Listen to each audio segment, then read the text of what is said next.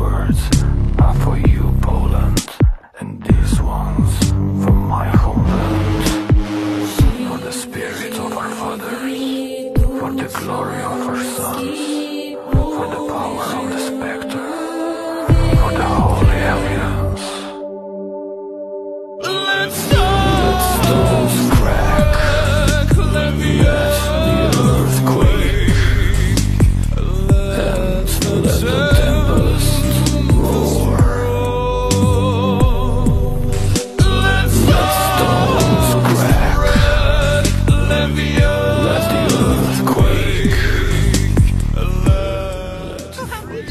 She's